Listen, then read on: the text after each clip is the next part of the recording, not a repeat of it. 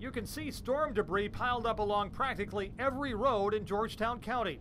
Gathering it all up will be a big project. Big enough, the county's debris removal contractor needed to hire 20 local people at $10 an hour to monitor the process. Finding people who wanted those temporary jobs has taken longer than the county expected. It probably has something to do with the fact that, you know, it's long hours, um, it's all weather conditions, um, you know, just some of the criteria that go with it. Broach says most positions have now been filled, five jobs remain open.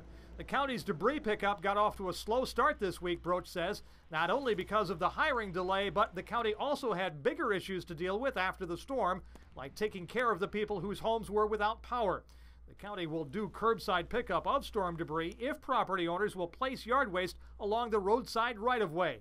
It should be loose, not in bags. In just a few days' time, the county has already collected 9,500 cubic yards of storm debris, and they're just getting started on a process that's certain to take weeks to complete. The timeline was somewhere around a month time period, and then at that point in time, we can kind of reevaluate and find out what other areas that we need to focus. The debris will be put to good use, Davis says. It will end up as mulch that may be sold by the county or made available to county residents. In Georgetown County, Joel Allen, WPDE, News Channel 15. Okay.